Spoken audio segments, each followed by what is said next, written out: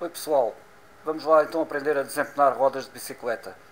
Antes de fazer este vídeo eu estive a dar uma vista de olhos em vários vídeos que existem no YouTube sobre esta matéria, alguns deles muito bons, mas em todos eles falta um ou outro pormenor que eu espero colmatar com este vídeo. Então, antes de mais, partindo do princípio que nenhum de vocês sabe desempenar uma roda, eis como é que se deve apertar e desapertar os raios. A chave de raios não tem necessariamente que ser assim. Há umas que têm várias ranhuras, há outras ainda diferentes. Fica aqui um conselho: não tentem desempenar rodas com alicates, porque os alicates, mais tarde ou mais cedo, vão morder a cabeça do raio e inutilizar a cabeça do raio. O mínimo que será aceitável para desempenar a roda será uma chave inglesa pequenina, mas vocês com isso vão ter quatro vezes mais trabalho do que se tiverem uma chave de raios, porque a chave inglesa vai estar constantemente a desafinar, vão ter que estar sempre a afinar a ranhura da chave inglesa para o tamanho do raio. Mais uma vez, se tentarem aplicar a chave inglesa na cabeça do raio sem ela estar bem ajustada, mais tarde ou mais cedo a cabeça do raio vai se esboroar e vai inutilizar-se.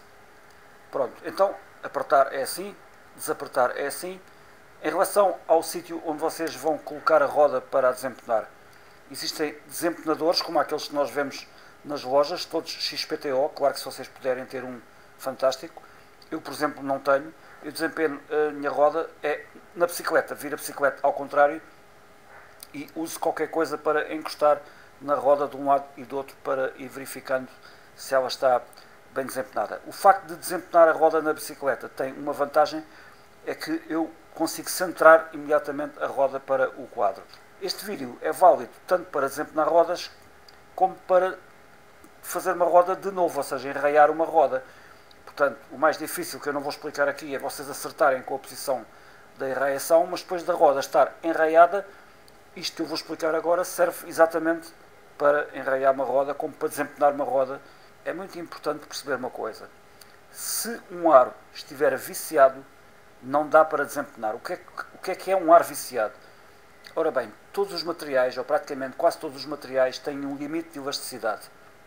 Isso significa que quando um determinado material é submetido a uma certa tensão, ele primeiro vai deformar dentro do limite de elasticidade, o que significa que dentro desse limite, se a tensão for retirada, o material volta à posição inicial. Portanto, ele comprime ou estica conforme a direção da tensão, mas quando a tensão é removida, o material volta à posição inicial. Ora, o que nós queremos é que as rodas estejam dentro desse limite. Se eventualmente a roda foi sujeita a tensões que excederam o limite de elasticidade, então aí já entramos no campo da deformação plástica, que vocês podem ver aqui neste gráfico. E o problema da deformação plástica é que ela é permanente. Portanto, se estiverem a tentar desempenhar uma roda que já está com um empenho permanente, é perda de tempo. Porquê? Porque vocês vão ter que estar a criar uma tensão brutal nos raios, mas a posição natural do ar já não é a posição direita, é a posição empenada, e ao mínimo buraco que vocês apanharem, à, mínima cacetada, ou ao mínimo esforço maior que vocês fizerem com aquela roda, ela vai empenar e vocês vão ter que vir a pé para casa. Estamos aqui a ver um exemplo de uma roda que claramente que sofreu uma deformação plástica e que não vale a pena tentar desempenar. Passemos para a próxima dica. Isto é uma regra geral. Quando vocês estiverem a desempenar uma roda, independentemente da fase do desempenho para não se introduzir tensão desnecessária no aro, primeiro desapertam-se raios e só depois é que se apertam outros raios. A exceção a isto é quando vocês precisarem simplesmente de apertar. Pode haver um ou outro caso, não é do nosso interesse desapertar raios, mas sim apertar. Claro que nesse caso não se vai desapertar primeiro. Mas sempre que for preciso fazer as duas coisas, a primeira coisa que se faz é desapertar uns e só depois é que se apertam outros. Agora vamos falar do tipo de empenos. Existe o empeno ao alto. Eu fiz aqui estes traços a vermelho para exemplificar algumas deformações que podemos encontrar na roda ao alto. Claro que elas estão exageradas, mas é mesmo para vocês perceberem.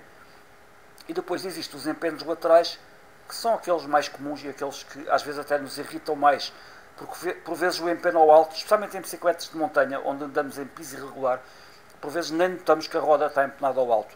O empenho lateral é mais visível, primeiro porque nós estamos por cima das rodas e nós vemos a roda abadar de um lado para o outro, e segundo, porque para quem usa V-brakes, isto implica que a roda, na maior parte das vezes, vai roçar nos calços de travão, diminuindo o rendimento da bicicleta e também irritando bastante o contorno da bicicleta. Por vezes, estes empenhos aparecem os dois em simultâneo. Eu até penso que, na maior parte das vezes, vão aparecer os dois empenhos ao mesmo tempo. Quando nós temos uma situação destas, o primeiro desempenho que nós vamos fazer é sempre ao alto. Só depois da roda estar desempenhada ao alto é que passamos para o desempenho lateral. Porquê? Porque o desempenho ao alto implica mexer em mais raios do que o desempenho lateral. E nós devemos partir sempre do mais abrangente para o mais específico. Então vamos ver. Suponhamos que esta roda tem um empenho ao alto. Eu criei aqui o empenho bastante exagerado para ser bastante perceptível. E o que é que nós queremos? Obviamente que se o ar está deformado em formato côncavo, ele está metido para dentro, nós queremos fazer com que o ar neste local venha para fora, tal como indicam aqui as setas amarelas. Ora, para que o ar venha para fora neste ponto, nós primeiro temos que aliviar os raios a verde. Estes raios aqui na zona onde uh, o ar está deformado, do lado que o ar está deformado. Como veem, vamos de encontro àquilo que eu expliquei ainda há bocado. Primeiro, aliviam-se sempre raios para facilitar o movimento do, do, metal. E só depois, então, é que se apertam os raios. Quais são os raios que nós vamos apertar aqui neste caso? São os raios que se encontram na zona oposta à zona deformada. A conjugação deste aperto e desaperto vai fazer com que o ar se desloque ligeiramente na direção que nós queremos e mitigar o empenho. Se vocês estiverem a enraiar uma roda, estiverem ainda numa fase precoce do desempenho, por vezes dar umas pancadas no ar faz com que ele por si vá ao sítio, não, não tendo portanto que estar a usar tanto os raios para colocar o, o ar no sítio. Se os raios já têm alguma tensão introduzida, então bater no ar com as mãos não vai fazer nada e terá mesmo que se usar a tensão dos raios para levá-lo ao sítio. Ora, depois da roda estar toda desempenada ao alto, passamos então aos desempenhos laterais, que são mais simples. Imaginemos, temos aqui uma roda, imaginemos que esta roda tem uma deformação lateral, mais uma vez eu exagerei, marquei aqui a vermelho uma hipotética deformação do ar, eu exagerei para ser bastante perceptível. Como é que nós vamos fazer para colocar este ar na posição certa? A regra de ouro é sempre a mesma, primeiro desapertar e depois apertar. O que nós vamos fazer é desapertar os raios do lado para onde o ar está deformado.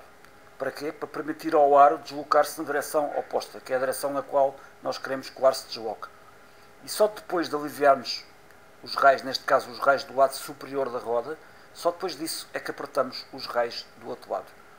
Sempre que fazemos estes apertos e desapertos, devemos fazê-lo todos com a mesma intensidade. Ou seja, por exemplo, se desapertarmos uma volta nos raios que queremos aliviar, devemos apertar também uma volta nos raios que queremos apertar. À medida que a roda for ficando desempenada, vai ser necessário cada vez menos tensão para corrigir os empenhos. Ou seja, para desempenhos maiores vamos precisar de dar mais voltas nas cabeças dos raios e no fim, quando já estivermos a fazer o ajuste fino da roda, nesse caso já serão precisos ajustes muito pequenos, na ordem do quarto de volta, às vezes até menos. Pode acontecer, eventualmente, que quando estamos a fazer este desempenho lateral, ainda há remanescências de empenhos verticais. Se o empenho vertical coincidir com o empenho lateral, aí nós devemos privilegiar mais ou o aperto ou o desaperto, conforme nós queiramos que a roda se desloque no sentido do cubo ou se afaste do cubo. O que eu quero dizer aqui é que, por exemplo, imaginemos que nós estávamos a corrigir esta deformação lateral, mas que o ar apresentava aqui uma concavidade. Nesse caso, nós não queremos privilegiar o aperto, porque o aperto dos raios vai aumentar a concavidade. Nesse caso, nós iríamos tentar corrigir o empenho lateral desapertando raios, privilegiando o desaperto de raios. Para quê? Para facilitar a ida do ar à sua posição vertical correta. Agora, com base nesta informação, é mais fácil para vocês desempenharem as vossas rodas. Não se esqueçam, se os vossos ares são daqueles em que a cabeça do raio fica à vista, tenham o cuidado de não desempenar a roda com o pneu e a câmara de ar montada, porque, por vezes, ao apertarmos os raios, a ponta do raio sobressai da cabeça do raio e pode rasgar aquela película protetora e furar a câmara de ar.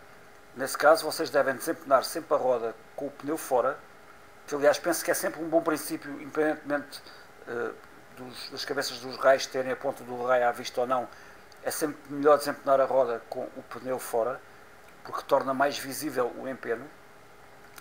E como eu estava a dizer, se houver pontas de raio visíveis depois da roda estar desempenada, deve-se passar então uma lima e só depois cobrir com a película protetora e só depois então colocar o pneu e a câmara de ar.